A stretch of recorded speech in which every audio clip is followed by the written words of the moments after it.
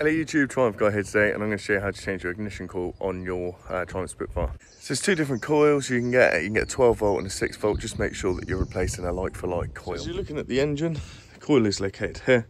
And then all we're going to do is disconnect the battery.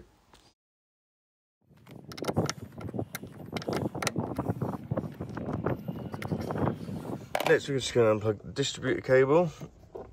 It just pulls out like that. Then we need to remove the negative and the positive side and make sure that you keep these to one side so you know where to plug them back into. You've now got two options, okay?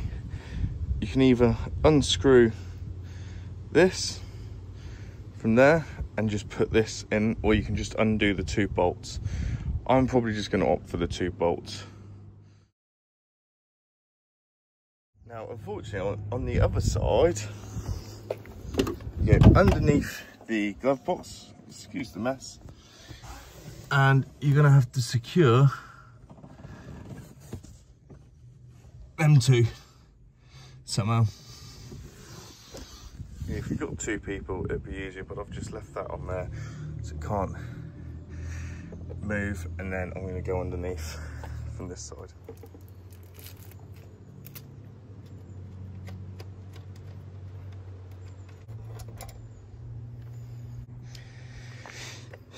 Now we just need to take these off and then put them on the on the new coil, wherever that is.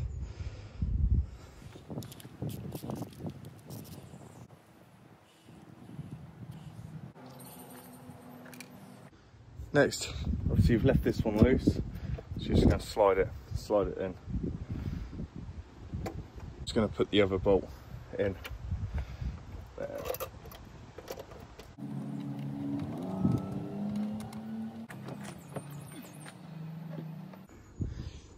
Next, get your old distributor.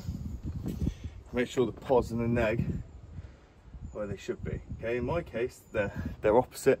So I'm gonna have to put the terminals opposite of what I did earlier. So that one goes on there. So thanks very much for watching. Please like and subscribe. Um, if you've got any questions, put them in the comments and uh, check out the comments as well because there's a playlist for all maintenance on this. So um, yeah, see you on the next one.